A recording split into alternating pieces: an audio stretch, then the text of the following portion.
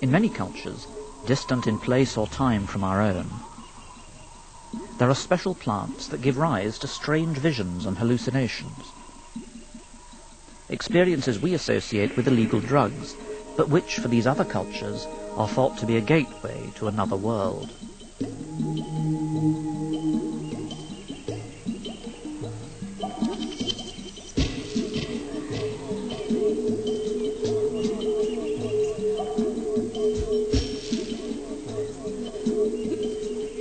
20 years, ever since I began my career as an archaeologist and anthropologist at Oxford, I've been engaged in a search to rediscover the lost world of sacred plants.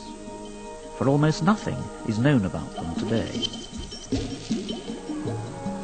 The most famous of all these hallucinogenic plants is perhaps fly agaric, a familiar red and white mushroom that has intrigued me ever since I became aware of its ancient history. Part of the same family as the deathcap toadstool, the fresh mushroom is highly poisonous, but has been used by Siberian tribes from time immemorial to induce a state of trance.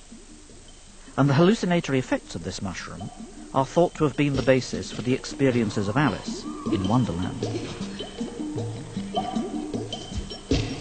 To try to uncover the mysteries of the mushroom, I assembled a group of specialists, all with their own expertise. A series of experiments was conducted that had never been previously attempted. Volunteers would, under strict medical supervision, take a controlled dose of these poisonous plants. And I would record everything that happened over the next three days of the experiment. I'm sort of wondering, like, you know, what's what's going on? what is it making it do this? How is it working inside my mind? You know, what chemicals are these? Why do they exist at all? What happens when these mushrooms are taken? What are their toxic effects? Yeah, yeah, definitely happening again. And how do the effects of the mushroom relate to their sacred status in some cultures?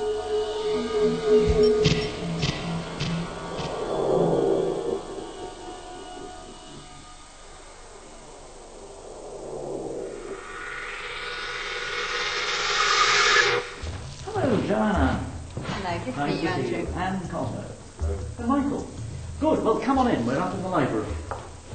As I welcomed my guest to Hammerwood Park, we began to talk of the fly agaric, the red and white mushroom we all know well from fairy tales.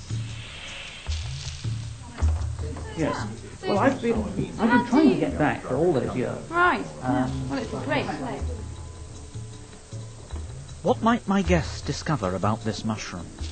A mushroom that has been linked for thousands of years to a world of elves and leprechauns and other little people. The team I had assembled had very different outlooks. Cosmo Hallstrom, a consultant psychiatrist and senior lecturer at Imperial College, was interested in how the active chemicals in the mushroom affected the brain and was well versed in the risks involved in taking hallucinogens while Joanna Iddon wanted to measure the effects of the mushroom on sensation and perception. Previously a research scientist at Cambridge, she joined us from CeNeS Cognition, a company specializing in these psychological tests. And finally, I was very pleased that Michael Carmichael was able to join us. One of the few people to have made a special study of the cultural use of the fly agaric, an ethnobotanist, Michael would approach the subject from a very different perspective giving weight to the personal experiences of those who had taken the mushroom. I began by giving my guests a brief background on this strange plant. Well, here it is, Amanita muscaria, the fly agaric. That's what it looks like growing in real life, but we've also got a dried specimen here. I'm going to pass it round, but you better not handle it too much because some of the active substances can adhere to your fingers and might be accidentally ingested. The mushroom grows throughout the northern hemisphere, but the best evidence that we have for its use comes from here in the eastern part of Siberia, but there are also indications that it was used in North America. During its long history, fly agaric has often been highly prized. Some of the psychoactive elements in the mushroom are excreted into the urine. An early account of the use of fly agaric describes how poor members of the tribe would, on occasions when the mushroom was being taken, stand outside the homes of the better off with a wooden bowl to receive the urine, which they are said to have drunk with great enthusiasm. It continues to have a special place in the cultures of Siberia, where it's used by several tribes, such as the Chukchi and the Koryak, as part of the ceremonies associated with shamanism. Shamans are people with a special role in society who have special access to the spirit world and go into trance as a result of the use of this mushroom. I then moved on to the appearance of the fly agaric mushroom in our own culture. And this is the famous example from Lewis Carroll's Alice in Wonderland, the caterpillar sitting on the mushroom, and Alice bites a little piece of this to get larger and smaller. So there is some evidence that Lewis Carroll himself was aware of some of the properties of eating these mushrooms and the way in which it altered perception. And so the image of the fly agaric became very common in Victorian literature, especially associated with fairies and little people sitting on mushrooms or toadstools. So nowadays, this image is one which is very widespread. Then I turn to the focus of our investigation. What is it about the effects of eating this mushroom that makes it so central to religious practices in Siberia, that seems to make the spirit world so real? And is it possible that this is what lies behind the persistent association of this mushroom in our culture with elves and fairies and little people? Well, let me turn first of all to Michael Carmichael.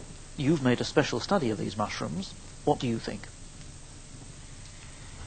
Andrew, I think that this mushroom represents a golden key to the doors of perception that open into a new world of experience. In fact, we have some rare footage taken in Siberia of a shaman who has used the mushrooms to transform their perception, permitting them to enter into a separate reality that is populated by a myriad of extraordinary beings or creatures that are frequently called little people, fairies, elves, leprechauns. And it's this phenomenon that correlates precisely with the European association between mushrooms and fairyland.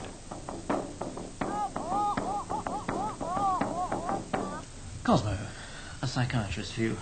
Well, I think as a psychiatrist, one has to be skeptical, especially because you deal with people all day long with strange ideas and uh, funny views. As a clinical pharmacologist, I think one gets more interested. One has to be thinking about what the mechanism can be for uh, this, this action. For example, we know the active ingredient of fly agaric is muscimol, and here we have some in here. We know that muscimol potently binds to the GABA A receptor, which is a neurotransmitter. It's a receptor, it's a chemical that's an inhibitory action in the brain. And how that then translates into people seeing little people, well, that's another question. Already, Cosmo's scientific realism and his hypothesis of mental inhibition or distortion was in marked contrast to Michael's more subjective understanding of the mushroom as a gateway to other aspects of reality.